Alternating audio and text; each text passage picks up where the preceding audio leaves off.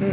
嗯，我现在还没有时间呢研究这个华能新能源这个股票。不过呢，初步来看呢，因为它已经有这个大唐新能源啊，还有这个龙源电力这类个同类的股份，我认为这个投机概念上呢不是太独特，这个吸引力的是呃一般的。嗯，至于说到这个非居民的电价的上调呢，我认为对于电器来说呢是有一定的正面的影响。不过呢，还要考虑到最重要就是这个煤价呢会否从这个高位回落。如果一直在这个高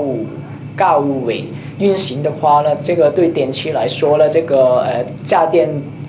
呃调高这个电价呢，这个呃作用呢不太大。最后呢，就是这个新能源开了呢，我认为因为刚刚这个是有那个股价有个调整，我相信短期内呢，呃，市场呢很难再重新的关注这个产业，可投资者可以等等，呃，再考虑是否这个购入。